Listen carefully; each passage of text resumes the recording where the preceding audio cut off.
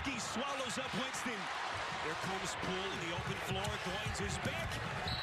And that will be an interference. Basket will count for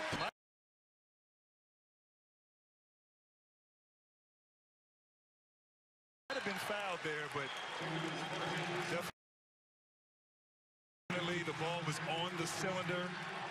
It looked as though Michigan State Gabe Brown just touched the, the basketball a little bit.